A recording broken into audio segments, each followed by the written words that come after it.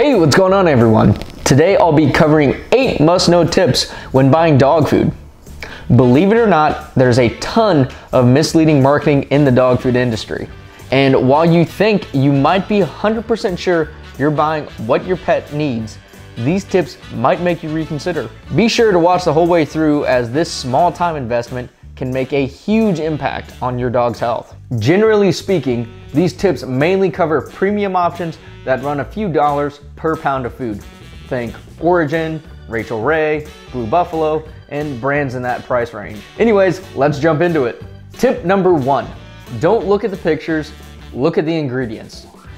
It's easy to get distracted looking at the fancy packaging full of chicken, fruits, vegetables, and the happy dog running through a field. Most of what you see on the front is a marketing ploy. Here's why. Pet foods in the United States are regulated by the FDA, and generally speaking, when it comes to the images on the packaging, the rules are pretty open. While manufacturers have to follow basic guidelines, such as listing the ingredients, the distributor, net quantity, etc., there's room for the rules to be bent. For example, look at what appears on the front of this package. Lots of fruits, vegetables, meats, etc.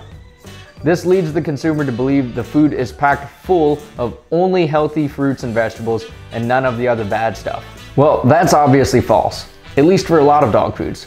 The ingredients are listed from greatest to least.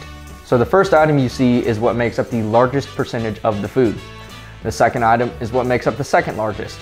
For example, if the ingredients listed are chicken, sweet potatoes, lentils, the percentages could be 30, 17, and 15% then any ingredients that make up less than 15% are listed after. So while you might see mounds of spinach, carrots, and other nutrient-rich items, these can sometimes make up less than 1% of the overall mix. Tip number two, look for whole ingredients. By no means do I consider myself an expert in dog food. However, I've spent way too much time this past month doing research on what is considered safe and nutritious for your dog. Along with this, I've been diving through the FDA's and AAFCO's guidelines and regulations and combing through pages and pages of information. Here's what you need to know. Everything in your pet's food is generally considered safe and has a purpose, although the effectiveness of each ingredient does not have to meet a certain minimum threshold. For example, corn versus sweet potatoes.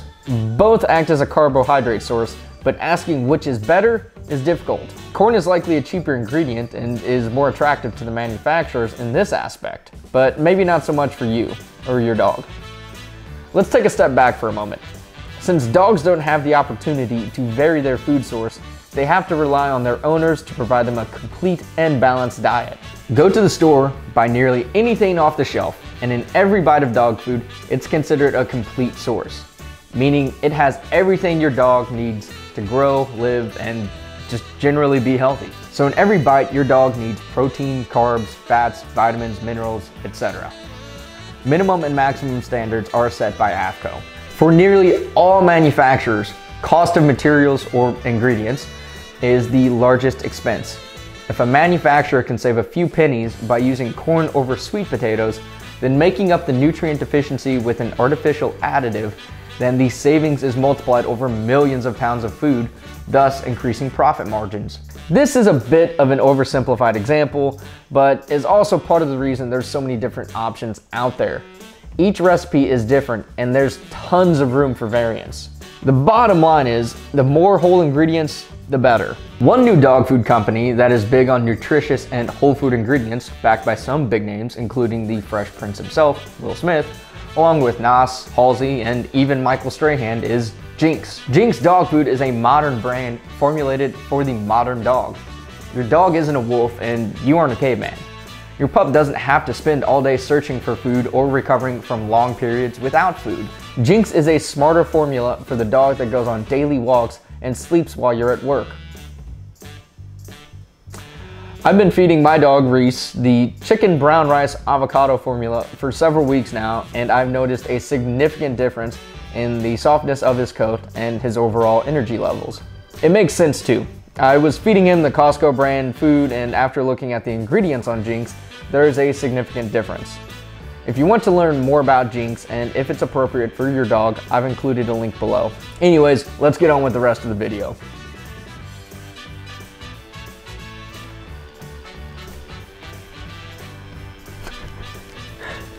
Tip number three, be weary of other YouTube videos. Again, I don't consider myself an expert, but I do want to scrutinize the reliability and validity of things I see online. Two common things you'll see on YouTube include a vinegar test and the 1% salt divider rule. The vinegar test is meant to show the digestibility of food in your dog's stomach by replicating stomach acid. Here's the problems I see with it. One, your dog is usually up and walking around, not sitting as still as those glasses on camera. Two, your dog has teeth and saliva that helps to break down the food before it enters the stomach. And three, your dog's stomach has muscles that help to move uh, the pre-digested food around for further breakdown. These tests are far from realistic, even if the pH is set correctly, um, in my opinion. In regards to the 1% salt divider rule, I was having a tough time finding any information online. There's all sorts of websites that refer to this, but none link a credible source back to AAFCO or the FDA. Here's what I found on an AAFCO document. Now I'm not going to sit here and read this because um, it's really only a, a short paragraph, uh, but it's confusing, right? My, my formal chemistry education stopped not long after high school, so maybe I'm reading this wrong, but I do not see a maximum set on these guidelines for sodium or chloride, just a ratio. So I contacted the FDA. Here's the response I received. Again, not a whole lot of clarity. For the time being, I'm skeptical and as of publishing this video, I'm still seeking out additional information. And not to be hypocritical, but scrutinize my video too. Yes, I am endorsing a specific brand of dog food, and I do receive a small commission if you use my link to purchase. But this is for all the dog foods listed in the description. Am I biased? Of course I'm a bit biased. I'm not making these videos and doing all of this research just to do research. So even though the benefit is small, I want to make a little bit of a return on my time investment. That's why I have all of these links set up below. Besides, Reese gets more treats and toys when I put links uh, up that people buy through. It doesn't cost you anything extra, but I might receive a buck or two for referring the sale. There's no point in lying or modifying information to try and get you to buy one food over the other. The monetary benefit on my end is negligible. Long story short, take everything with a grain of salt. Spend your time doing your own research and remember that every dog is unique. Know something I don't? Please comment below and include a reliable source rather than just some anecdotal evidence. Tip number four, check the recall list. The FDA releases recalls for all dog and cat foods. While these recalls are specific to single brands, product lines, and batches, you can use them to gauge the trustworthiness of a brand. Although use caution with your judgment. These recalls are voluntary. For example, if there are brands that consistently appear on the recall list, you can look at this one of two ways. You could say a brand is staying proactive and taking the appropriate cautionary measures uh, when there is reason to believe a batch may need to be recalled. On the flip side, a brand may be publishing a recall only because the monetary loss from legal disputes and other repercussions outweighs what it would cost to simply remove the food from shelves. Oftentimes, it's some combination of all of those factors. Most manufacturers have some sort of routine quality testing, which is most likely what initiates these recalls. Others may be the result of field complaints where quality testing did not catch the bad batch. Just remember to see what the recalls are for. A reoccurring problem signals to me that management may not be taking care of problems with personnel or processes to ensure food is safe. Tip number five, grains aren't all bad. If you walk into any pet food store, you'll find plenty of options advertising grain-free. Is there any benefit to grain-free? There are some, and there's plenty of other videos that cover grain-free diets more in detail. But the main reason is you're typically buying a more nutrient-dense product when it's grain-free. Most lower-end and economic dog food options have their first or second ingredient as cornmeal or something similar. Don't count out all grains as bad though. Certain grains like whole grains are a good source of complex carbs that are a part of a healthy diet. Unless your dog has a grain allergy, some grains won't hurt. Most modern dog foods use sweet potatoes, vegetables, and other ingredients that contain more vitamins and minerals with a similar amount of carbs. Tip number six, go the DIY route or try a 50-50 blend. If you're having trouble finding a store-bought food that works, try going the homemade route.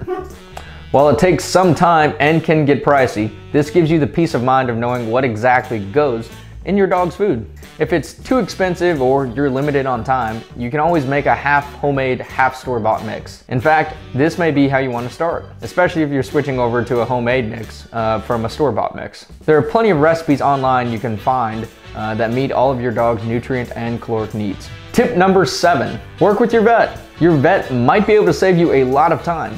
If your dog has a food allergy, your vet may be able to test for that, so you don't have to run through trial and error with so many different foods or recipes. Talk with your vet about your concerns and possible solutions. Tip number eight. Dog food isn't everything related to your pet's health. Generally speaking, when people are concerned with what their dog is eating, they're concerned because they want their dog to have a high quality, happy, and long life. Don't forget that while their food is a big part of their life, so is adequate exercise and love and attention. Be aware of the issues that are common with your dog's breed. Doing what you can today to help mitigate and prevent these issues in the future will likely make your dog's life um, a lot better in the long run. Doing what you can today to help mitigate or prevent these issues uh, will probably make a greater difference in your dog's overall happiness than what they're eating today. If you made it to the end of this video, thank you for watching the entire way through. Be sure to visit thankjinx.com, linked in the description and comments below, as they provided Reese some treats and dog food for him to try out, which he and I ended up liking.